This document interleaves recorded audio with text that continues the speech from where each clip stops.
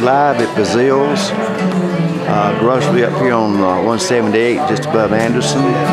Great place to come and and uh, bring your entire family and uh, enjoy good old bluegrass music. We have different singers and groups that come in here.